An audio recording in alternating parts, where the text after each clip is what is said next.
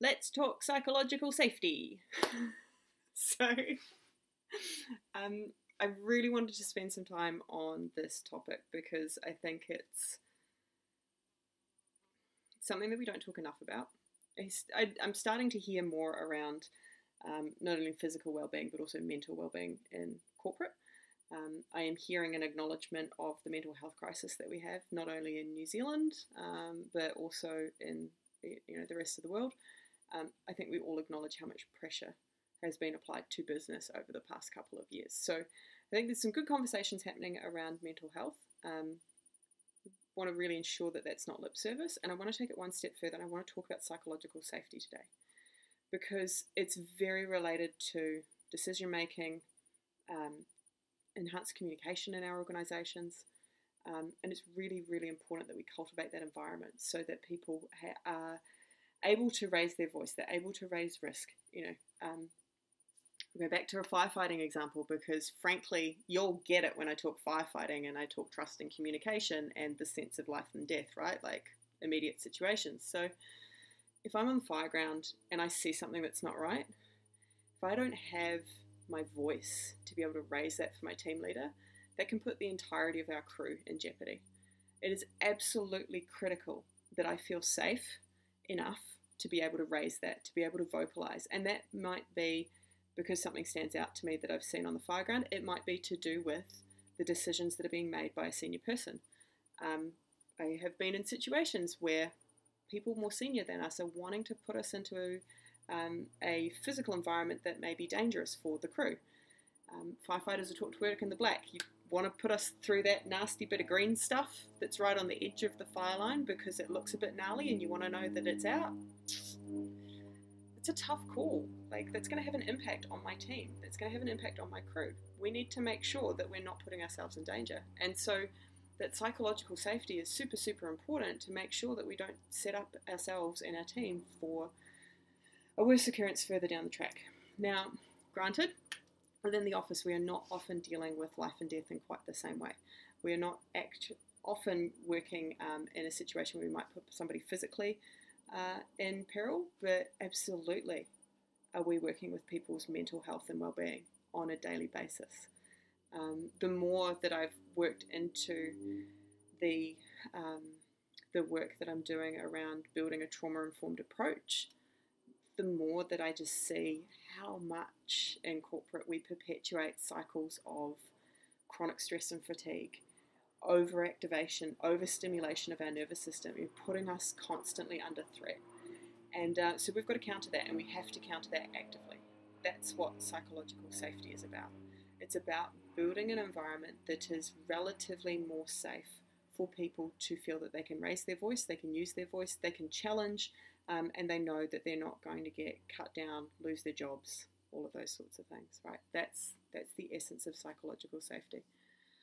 Um, and as leaders, that we also have this interesting dynamic around the power and hierarchy within organisations. So whilst we might feel comfortable um, to raise our voice to, um, you know, in the environments that we're in, being able to tune into how comfortable your team is with raising something with you, uh, I think is is that slightly more delicate art. So we can work on ourselves in terms of our voice in a room, um, but working on our team and making sure that our team, um, and not even our team, you know, the the wider community have that comfortability to raise something with us. They have that that place where they can they can challenge us.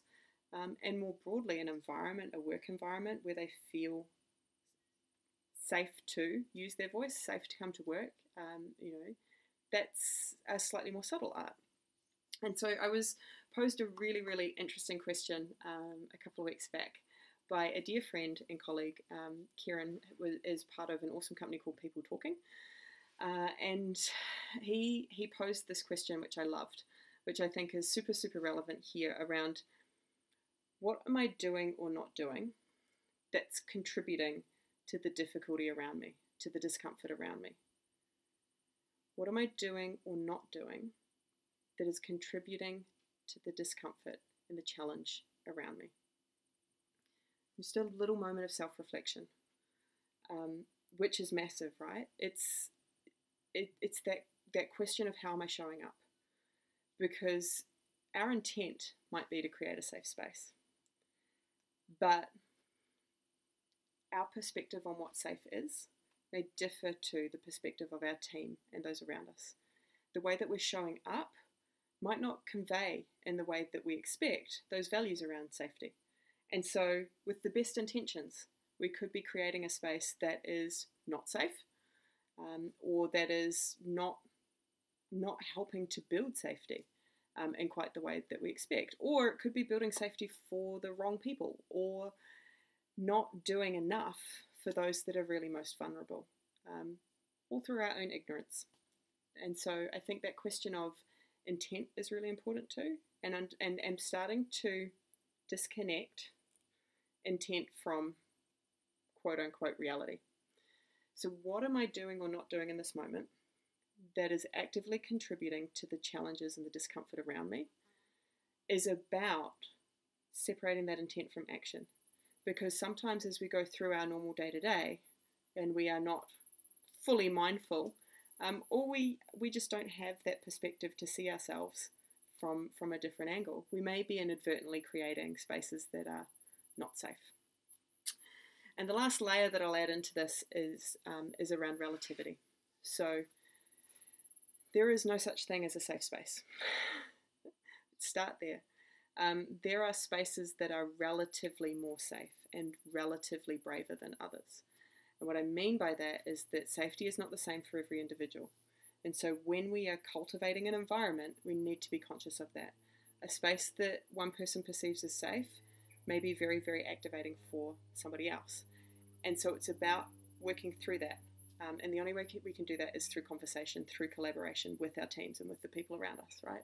It's about active listening, it's about supporting and understanding what people need and co creating that space.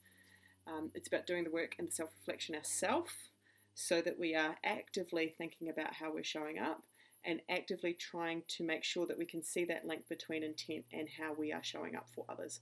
But that requires the mirror, that requires the feedback, that requires that reflection from our team. And so that's my journal question for you today. Go away, spend some time. Um, maybe repeat it regularly, but ask yourself that question What am I doing or not doing that's actively contributing to the challenge around me? So I hope wherever you are in the world today, you're having an awesome, awesome day. I hope that was super helpful. I'd love to hear a comment from you about um, where you're at with creating uh, safer, braver spaces.